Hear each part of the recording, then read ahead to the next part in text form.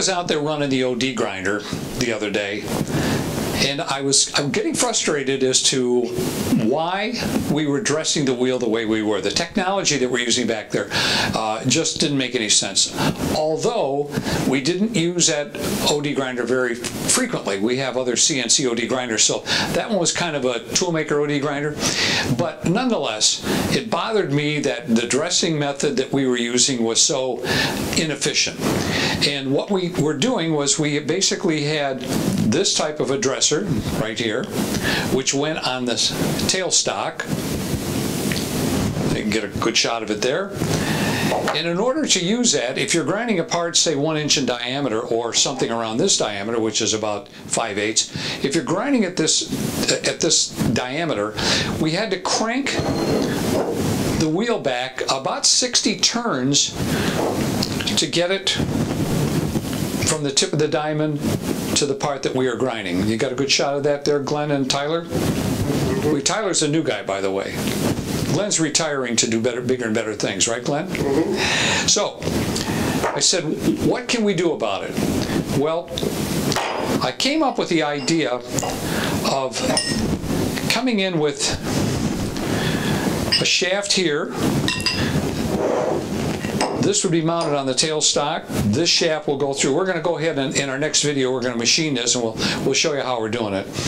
And uh, and then this would hold the diamond at the at the end, and we could slide this in and out. So we could then move it to the wheel if our part is uh, an inch in diameter or so, we could back this up. If it's three inches diameter, we can move it out. So we can adjust this so we don't have to crank the wheel the uh, the uh, the wheel in and out 30, 40, 50 turns. You know, it might be three or four, but nonetheless, it's a great deal of efficiency. So let's go in the back, and we're going to show you how we're planning on doing this. Provided that doesn't roll on the floor, we'll show you how we're going to do this, and uh, then we'll come back in here and talk about it some more. So let's head out back.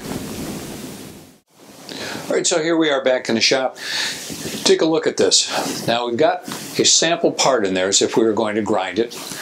And of course we have to dress the wheel. This is the dresser that we're using today.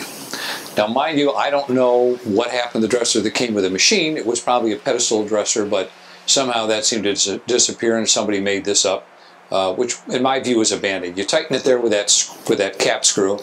You got to back this thing out. I, I, counted it was about 60 turns. Now we've sped it up here a little bit, so it's really not going back that quickly. Uh, and, and, now that we've got it back about where we need it to be, we can come in here and we can dress the wheel with the diamond. So here we are pretending we're dressing the wheel. Yeah, we're going this way, that way, back and forth. That's sped up a little bit as well. So now keep in mind we've got crap and grind all over the center, so we got to clean the centers, and we're going to have to go back to our part that we're going to put in there and put more lubrication in the end of the centers. Put the part back on. Now we got to crank it back in again, another 50, 60 turns. All of this takes, and again, here we have, we've sped it up a lot, so it's not really moving that quickly. So now we're back to our part, and we can start to, to grind again. Well, think about the lost time. That probably took a total of about eight to ten minutes to dress the wheel, which just doesn't make any sense. So the idea of coming in with another dresser that provides the diamond, that will allow the diamond to be closer to the wheel, and that way we don't have to we don't have to uh, pull the wheel in and out eight or ten times. So the idea here was to put the diamond in the end there, and we would rest it kind of on the center. We're going to have a shaft here, and that'll slip in a shaft. That allows us to go in and out. And we're going to then put a block on here like so. And we'll have, we're going to bore a hole in that so it'll go through that magnet there just to hold it temporarily so we can position it. So we're going to bore a hole like that right through the through the block, put a couple of cap screws in there, drill into the tailstock and mount that block. That allows us to move that shaft in and out to the right and to the left. And then we have a hole in the in that end that allows us to go in and out. So now if we're grinding a one inch part, we can set it up within a, a, a turn or two, we don't have to crank it 50 or 60 turns. So it makes a lot more sense and we'll get a better dressing job as well. There you go. You've seen the problem back there you've, in, in, in living color. And now we're going to show you the solution, uh, as we mentioned. Now, these parts have already been machined, as you can see. They need to be ground, so we're going to grind these uh, to within a thousandths or so. So there'll be a nice slip fit. And then we're going to machine this block as well. Uh, we've got to machine it to put a hole in the end with some cap screws in there to lock it down.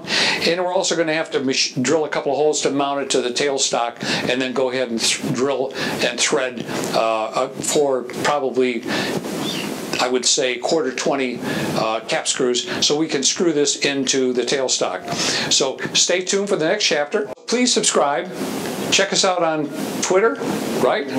We're and Facebook and uh, Instagram. Instagram. So we're getting a big presence there now that we never had before. So please check us out and uh, subscribe and tell your friends about us. So thanks for watching.